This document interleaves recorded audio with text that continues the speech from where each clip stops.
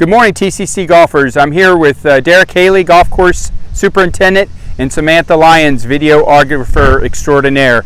We'd like to just send you a few reminders about our cart rules and local course maintenance guidelines.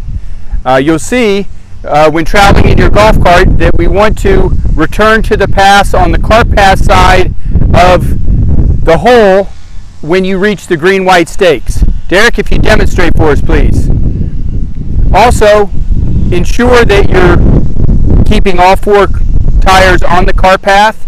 Notice Derek is going to the cart path side of the hole, always driving around the back of the green when possible and pulling forward uh, and walking backwards. This helps the flow of pace of play.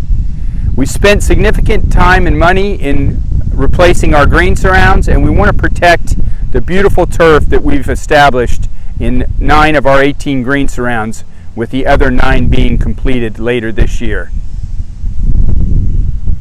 All right, here we are.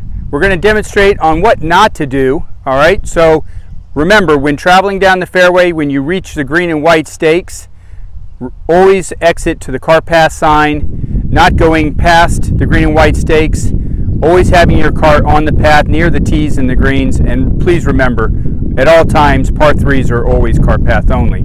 Now we'll demonstrate on what not to do.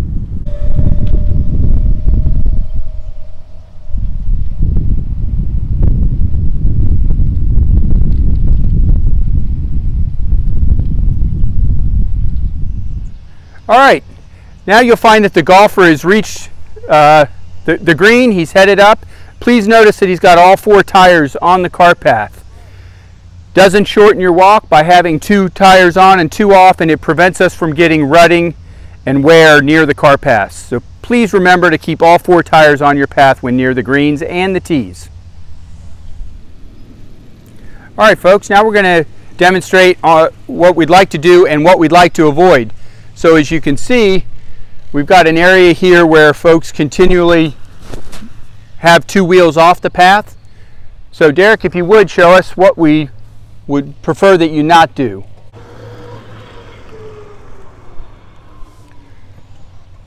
By golfers continually having two tires off their path, it's created this wear mark.